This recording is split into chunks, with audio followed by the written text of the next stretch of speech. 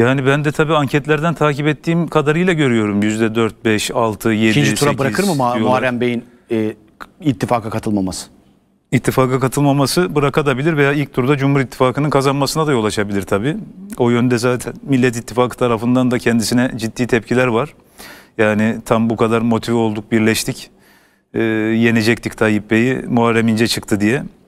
Ee, biz de tabii e, bir miktar katılıyoruz. Yani oradan çünkü büyük ölçüde oy alacak ve Millet İttifakı için bir dezavantaj olacak. Siz e, ittifaka katılmamasını sizin açınızdan daha avantajlı buluyorsunuz Cumhur İttifakı Cumhur açısından. İttifakı açısından daha avantajlı görüyorum evet.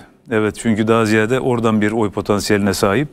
Oradan oy alacak ve oranın aslında dezavantajına Muharrem Bey aksini iddia ediyor. Ben daha çok AK Parti'den Öyle diyor evet ama yani çok zannetmiyorum tabii. O kadar bir oy geçişkenliği olacağını AK Parti'den o tarafa.